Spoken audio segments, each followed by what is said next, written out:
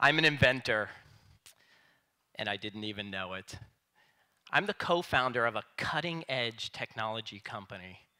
Our technology is so cutting edge that we have international patents pending and some of the best engineers in the world working for us.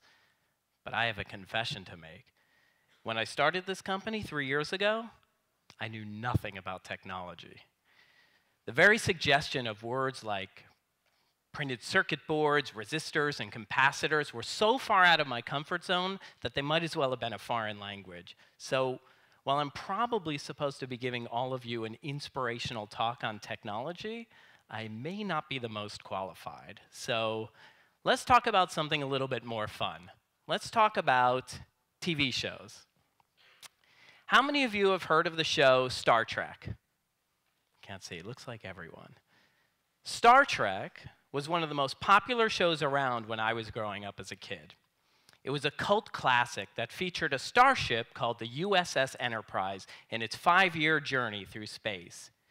Its goal was to seek out new life and new civilization, to boldly go where no man had gone before. In the show, it featured a crew led by Captain Kirk. Captain Kirk and his team would beam up and down to these neighboring planets and go on all sorts of adventures. And no matter how far away they strayed from the ship, they could always communicate with each other through something called a communicator. Sounds impossible, right? They could just pick up these little tiny phones, and no matter how far away they were from each other, they could just chat with each other. Super fun to watch, but total fiction, it seemed, especially considering that the typical phone back then looked something like this. When I was a kid, I desperately wanted a communicator. Everyone did. But I was just a kid. But there was one man named Dr. Martin Cooper who was so inspired by the communicator that he went off and tried to create his own. So his first try produced something that was 10 inches wide. And it had a battery that weighed about five times as much as the average cell phone today you could only talk on it for 20 minutes before you had to recharge it for 10 hours. It was so big and so heavy that it was nicknamed the brick. But Dr. Cooper stayed with his creative idea for years and years. He never gave up on it, and it eventually led to the creation of the modern day cell phone. And you'd probably be surprised to find out that fiction has become reality more times than you would have thought. The modern day submarine was inspired by Captain Nemo's Nautilus in 20,000 Leagues Under the Sea. The rocket ship was created because a man named Robert Goddard was so inspired after reading H.G. Wells's War of the Worlds. Geostationary satellites, the World Wide Web, even the iPad all came from fictitious creative stories. Even the children's book, Tom Swift and the Electric Rifle, inspired the invention of the taser. Get it? T A S E R? See it there? So, how did I become an inventor? As I said, I have no technical background. I'm not an engineer. I studied finance all throughout college and graduate school. In fact, I stayed in finance as a career for about 15 years, always thinking that that was the safe path. And although I'd been doing it for so long, it, it never felt right to me. I always wanted to embrace more of my creative side.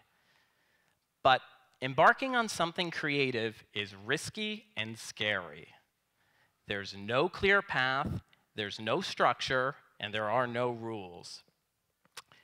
In spite of that, I decided that I wanted to write a story.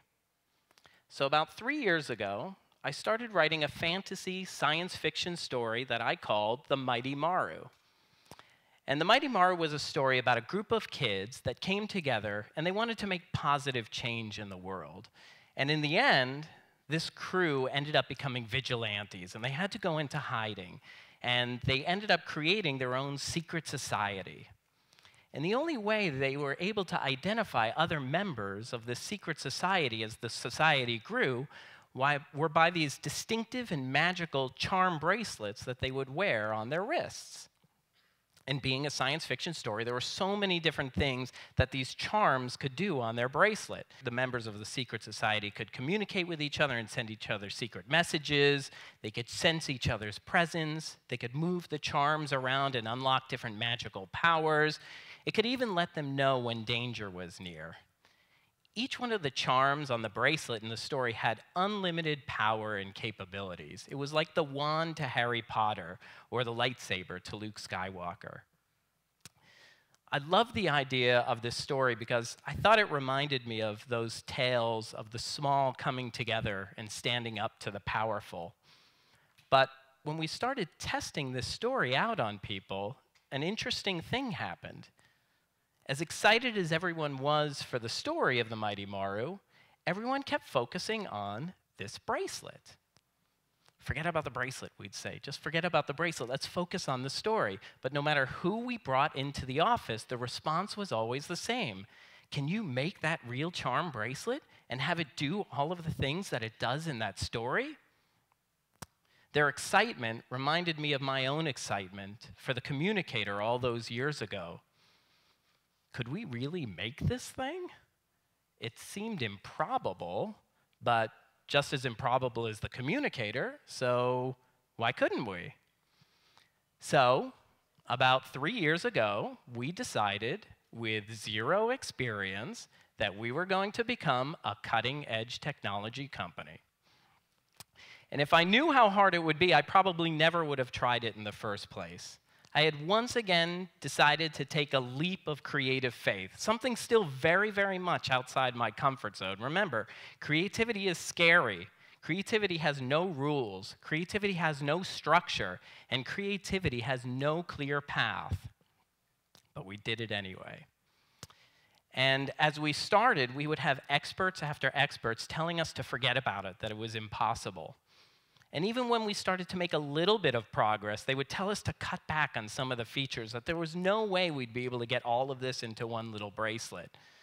But we didn't want to give up, and we certainly didn't want to compromise on any of the features, because anything less than what we had envisioned in this imaginary story of ours would have felt unsatisfying. But it was scary. And I remember after about a year and a half's work, our first prototypes we created, almost none of them worked. And then we thought, well, okay, for the next year, let's, let's change the design. Maybe that'll improve things. And then we discovered that everyone thought they were hideous. So we kept at it, though. We never wanted to give up on this original creative idea. And after several years, we're now finally excited to be introducing what we call the NEX band into the market early next year. The goal of the NEX band is to be very disruptive to the wearable space. It's to give power to people like you to customize what you want to wear on your wrist and what experience you'll have on the inside. Just simply by taking one of these charms, or mods as we call them, and putting them on your bracelet, you can completely change the experience that you have on the inside, from finding friends through proximity to sending secret messages, even using it as a game console on your wrist.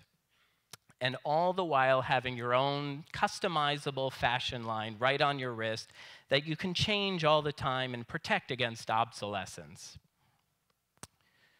When we think about creative change and technological progress, we tend to think of it improving at a straight line, kind of like this. When inventors create based on conformity, they tend to make improvements on a previous version of something. So, for example, Eastman Kodak had some of the best film in the world, and they kept improving on that film year after year.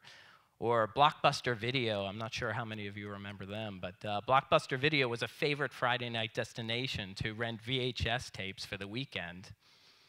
But every now and then, there's a new technology that comes along that's so disruptive that it completely changes the trajectory of this line to something like this.